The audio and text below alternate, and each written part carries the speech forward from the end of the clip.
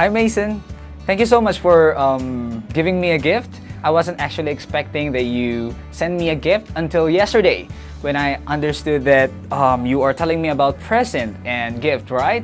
And I was actually thinking, oh, maybe you um, really send me a gift. And here it is now. Actually, I received a gift from you now. And let's see what's inside. Okay, so ro rose essence. So I think this is, hmm, this is a soap, right? Yeah. okay, and what is this?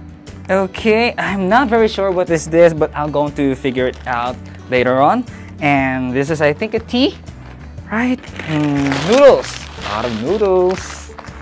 And, okay, I think this is a chocolate, right? Is it?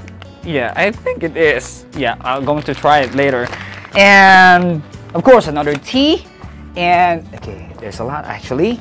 And this is what I love. Oh my. Okay, chocolates. Yeah, chocolates. Thank you. Uh, one more. Okay, uh, this is this is a coffee, right? Yeah, coffee. okay, there's a lot. And two more. Last two. Okay, we're here.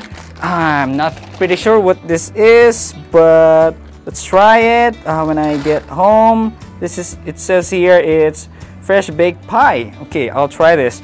And of course, this one. Wow, this is so big. Thank you so much, Mason, for giving me this. I'll see you again in our, in our next class, okay?